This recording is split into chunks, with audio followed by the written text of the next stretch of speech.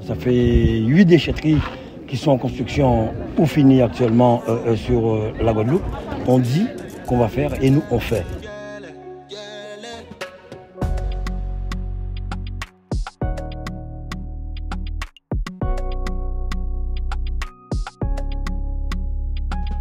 Avec 9 quais de déchargement, ça va permettre de doubler les flux et adossé à cette déchetterie, on a un centre de transfert, le premier centre de transfert public qui va permettre à la communauté d'agglomération d'optimiser euh, ces déchets. Ce quai de transfert, en fait, il a pour but de diminuer le coût de gestion des déchets, puisqu'aujourd'hui, nous sommes à 179 euros par an et par habitant.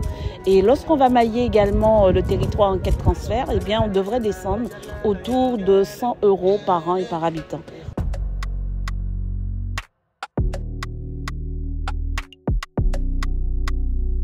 Cet équipement-là va nous permettre de faire des économies d'échelle sur la, collecte en, termes de coûts de transport. Deuxième chose, cet équipement-là ben, s'inscrit dans un, programme de création, de réalisation d'équipements euh, sur l'ensemble du Grand Sud Caraïbes ou de réhabilitation, puisque euh, la région Guadeloupe a pris en charge la construction et la réhabilitation de six déchetteries. On a commencé avec Bouillante, euh, on a eu Terre de Bas qui a été inaugurée.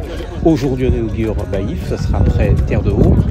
Et enfin Trois-Rivières. Et donc le territoire sera largement doté en équipement pour permettre à tout un chacun de pouvoir jeter leurs déchets. On n'interdit pas de consommer, mais il faut bien euh, jeter, il faut bien trier, puisqu'aujourd'hui les déchets, ils ont une seconde vie.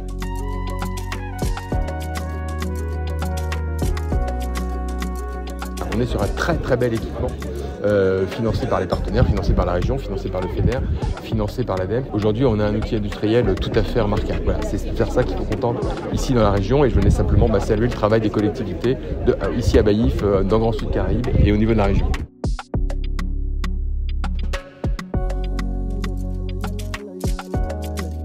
Le West Indies Green Festival, c'est un festival qui a pour ambition de pouvoir sensibiliser le, grand public à, des initiatives de responsabilité, donc que ce soit au niveau des déchets, que ce soit au niveau du social. Donc c'est un outil qu'on utilise euh, pour euh, le grand public.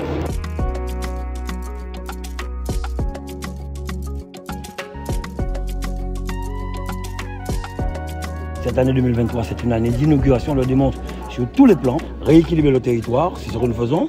Nous allons reprendre bientôt la déchetterie de, de nous avons Petit Bout, nous avons Goyave, il y avait déjà des déchetteries sur la Grande Terre, nous avons financé certaines déchetteries, notamment à Mornalo et bien d'autres. Donc c'est vraiment une manière de répondre à l'attente d'une population pour voir de belle et propre, une belle région, en nous pensons à elle.